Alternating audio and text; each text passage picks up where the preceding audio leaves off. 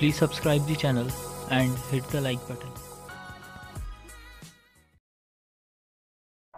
जय हिंद दोस्तों तो कैसे हैं आप सब?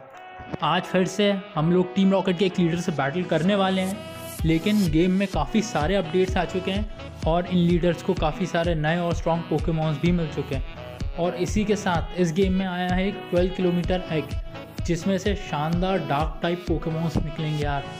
और जो मेरे फेवरेट हैं, उनमें से एक तो है सैंडाइल वही क्रोकोरॉक बनेगा, जो ऐश के पास था।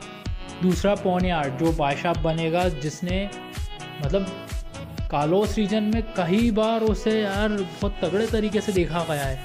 और उसने कई बार ग्रेंजा से फाइट भी की और यहाँ तक कि कई सारे पोकेमोन्स की बैंड बजा दी। और तीसरा एक वल्चर टाइप का पोकेमोन है, उसका नाम मंडी बज है, उसके वॉल फॉर्म का नाम। वो भी मेरे हिसाब से सही है ग्रेट लीग के लिए। तो फ़िलहाल फ्रेंड्स, मैं अपने चार आर्ट के साथ आया हूँ आर्लो की बैंड बजाने। हमने इसके ग्राउलित को तो निपटा ही दिया है, लेकिन फ़िलहाल हमारे सामने जो पोकेमोन है, वो है ब्लास्ट वॉइस। और कोई आम ब्लास्ट वॉइस नहीं फ्रेंड्स, बहुत ही तगड़ा ब्लास्ट वॉइस है। मतलब बड़ी मुश्किल से बच बच के लड़ रहा हूँ मैं इससे।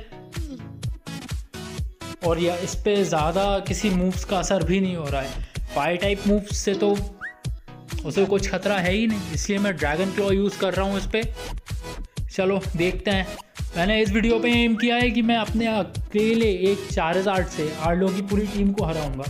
ग्राउलेस को तो हरा दिया। है होप सो ब्लास्टोइस भी निपट जाए क्योंकि मेन और सबसे स्ट्रॉन्ग पोकेमोन इसका ब्लास्टोइस ही है। और आखिरी पोकेमोन है इसका सिजोर क्या बात है फ्रेंड्स सील टाइप पोकेमोन है। अच्छा वो हमने क्विक मूव में फायर स्पिन लिया हुआ है तो काफ़ी जल्दी डैमेज देंगे। चार आर्ट के पास ज़्यादा पावर बची नहीं है और फ्रेंड्स ये तो ड्रॉ हो गया और इसी के साथ हम जीत चुके हैं। मैंने अपने चार आर्ट से आर्लो के तीनों पोकेमॉन्स को निपटा दिया। वीडियो पसंद आई तो चैनल को सब्सक्राइब कर दीजिए। वीडियो को लाइक करिए, वीडियो को शेयर करिए। और अगर पोकेमॉन की और वीडियोस चाहिए तो कमेंट भी करिए। और ये ट्वेल्व किलोमीटर का एग